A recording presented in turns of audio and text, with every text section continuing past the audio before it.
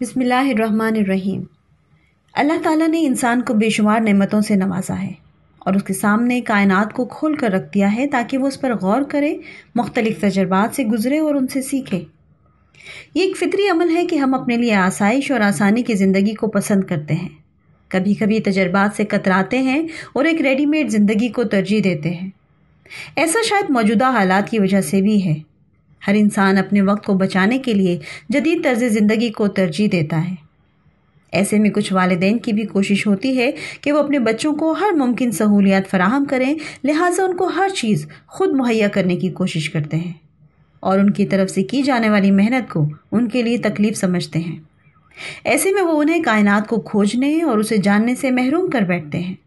और उस सलाहियत से भी कि जो आने वाले वक्तों में उन्हें किसी भी किस्म के दबाव या तकलीफ़ को बर्दाश्त करने का हौसला दे सकती है। हम भी वक्त और हालात के दबाव की वजह से कभी कभी हिम्मत हार देते हैं। लेकिन अगर किसी छोटे बच्चे को खेलते हुए गौर से देखें तो हम ये सीख सकते हैं कि हमें भी तजर्बा करना चाहिए। खुद को संभाल कर आगे बढ़ना चाहिए, क्योंकि ठोकर खाने से जब बच्चा गिरता है तो थोड़ी तकलीफ़ से, थोड़े दबाव से गुजरता है। लेकिन जब वो उठकर दोबारा चलना शुरू करता है तो वो दर्द भी भूल जाता है और वो चोट भी। बल्कि नए जोश और हिम्मत से खेल में दोबारा मसरूफ़ हो जाता है।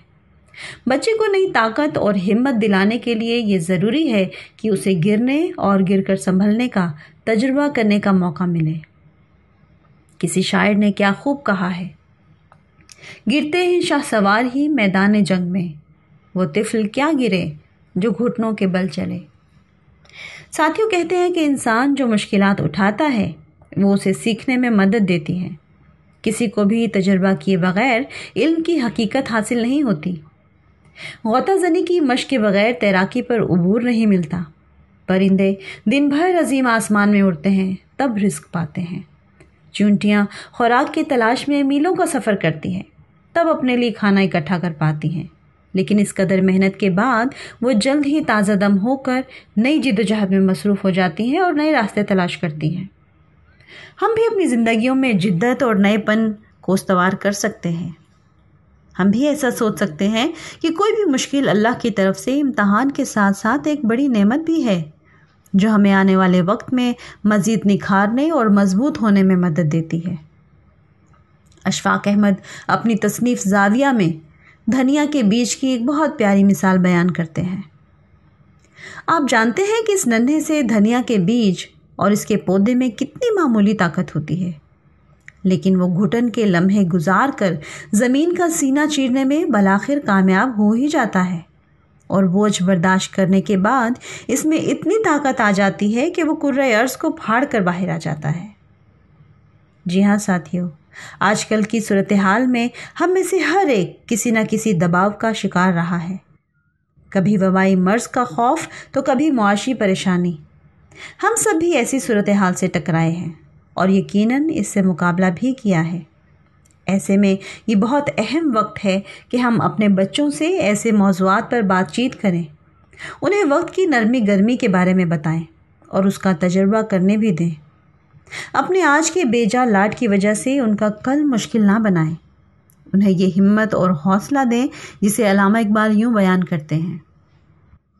तुंदिए बाद मुखालिफ से न घबरा ए उकाब। तुंदिए बाद मुखालिफ से न घबरा ए उकाब, ये तो चलती है तुझे ऊँचा उड़ाने के लिए। आज हमें खुद भी ये समझना है और अपने बच्चों को भी सीखने में मदद देनी है कि वक्त कभी एक सा नहीं रहता। इसलिए मुश्किल हालात का सब्र और हिम्मत से मुकाबला करके आगे बढ़ना चाहिए। और अल्लाह ताला के इस वादे को याद रखना चाहिए। फ़ाइन्ना माल उसरी उसरा। यानी बेशक तंगी के साथ आसानी है। साथियों, आज हम एक तब्दील होती हुई दुनिया की तरफ़ गामजन हैं, जिसमें हमें जहाँ इस यकीन की ज़रूरत है कि कोई भी चीज़ मुस्तकिल नहीं रहती, हर मुश्किल एक नई आसानी, हर रात एक नई सुबह की नवीद लेकर आती है।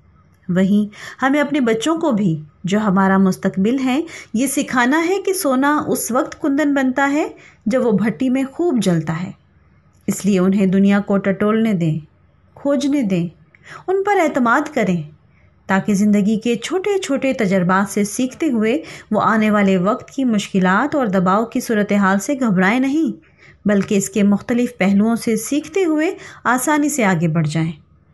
दुआ है कि आने वाला वक्त हम सब की ज़िंदगियों में एक मुस्बत तब्दीली लाए। अल्लाह हम सब का हामी नासिर हो। आमीन।